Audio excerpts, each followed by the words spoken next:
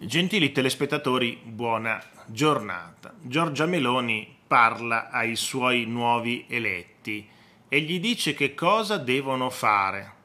Cosa devono fare in Parlamento. Quindi il primo incontro della Meloni con i parlamentari che hanno segnato eh, che saranno quelli prossimi, per i prossimi cinque anni. Così iniziano ufficialmente i lavori di Fratelli d'Italia in Parlamento. La Meloni convoca gli eletti per Camera e Senato per una riunione preliminare. Regalino, foulard alle signore, cravatta ai signori e spilletta di Fratelli d'Italia.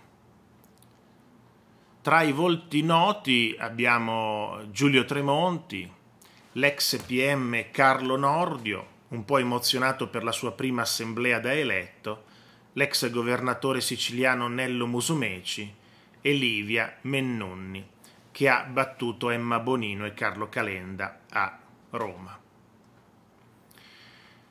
Dice così la Meloni, professionisti, docenti, economisti, rappresentanti dei territori, amministratori, uomini e donne che daranno anima e cuore per difendere gli interessi e i diritti del popolo italiano.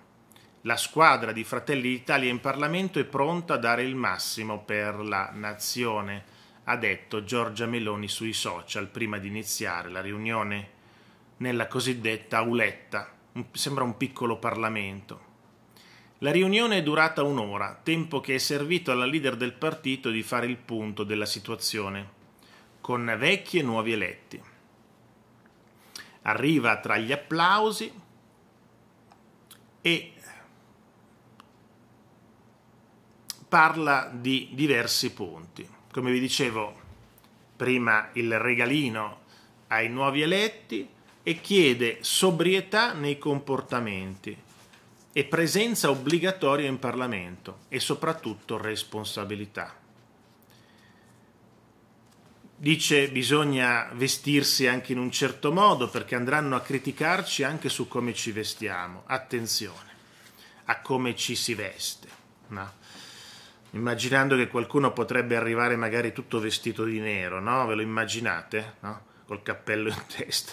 Ecco, per prevenire qualche babbeo che sempre c'è, c'è sempre un babbeo che la mattina si sveglia e dice adesso mi vesto così, perché vuole fare la cosa goliardica, no? Quindi dice attenzione anche a come vi vestite, attenzione a tutto, alle dichiarazioni che fate, pensateci prima, perché sono pronti ad attaccarci su qualsiasi cosa.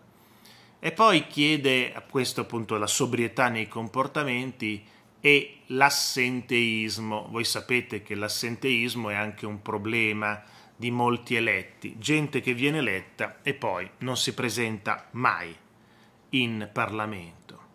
Tanto alla fine, quando poi voi siete eletti e non vi presentate, se il partito vi, eh, vi scarica, cioè se il partito non dice niente, voi per cinque anni vi prendete lo stipendio, senza fare assolutamente nulla.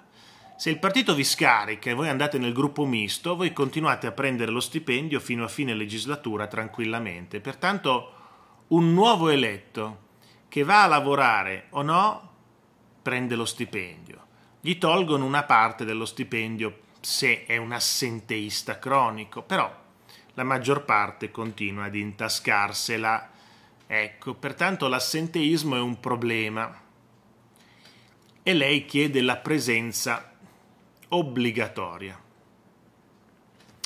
Poi dice che ho detto agli alleati, e lo dico anche a voi che siete la squadra di Fratelli d'Italia, puntiamo a dar vita a un governo autorevole e di altissimo livello, che parta dalle competenze, puntiamo a dare a questa nazione il governo più autorevole possibile.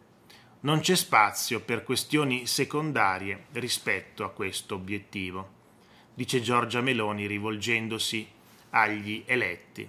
La leader di Fratelli d'Italia lavora da tempo a questa vittoria e ora, come ha spiegato nel corso del suo intervento, se e quando il Presidente della Repubblica dovesse affidarci l'incarico, puntiamo ad essere pronti il più veloce possibile anche nella formazione del governo. Ci sono dei problemi stringenti, dice la Meloni, dal caro bollette all'approvvigionamento energetico e alla legge di bilancio. L'obiettivo di questa legislatura di Fratelli d'Italia sarà agire per il bene del Paese e ogni atto messo in campo sarà per difendere gli italiani e non saremo mai disposti a fare scelte che vadano contro l'interesse nazionale e aggiunge abbiamo rotto poi tutti gli schemi creando diversi cortocircuito nella sinistra e nel mainstream.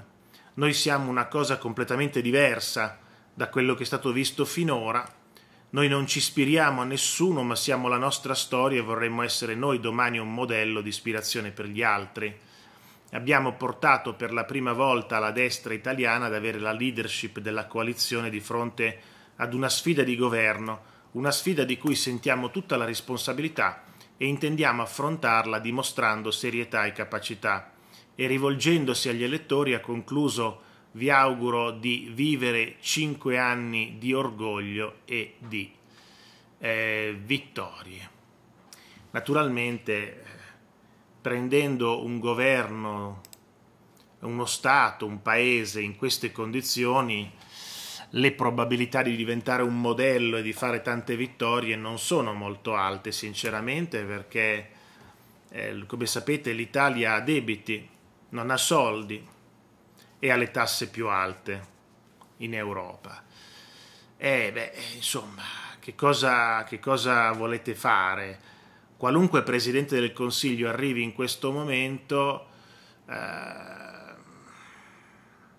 ha delle possibilità di manovra talmente piccole che fare un grande governo che sia ad esempio, sinceramente, altri stati come la Germania prendono 200 miliardi ta, che avevano da parte, 200 miliardi, eh, come il nostro PNRR di cui tanto parliamo, mentre la Germania quei soldi li ha da parte, chissà quanti ne ha, li prende. To, 200 miliardi per tagliare le bollette, alla faccia, alla faccia. Eh, ma poi non si può eh, compararsi con la Germania se sono stati che hanno debiti molto più bassi dei nostri, riescono ogni anno anche a mettere da parte dei soldi. Eh, che cosa volete? Qual è il paragone con l'Italia che nel cassetto non c'ha niente, nulla? Ecco. Grazie a tutti e buon proseguimento di giornata. Ci vediamo al prossimo video. Arrivederci e grazie.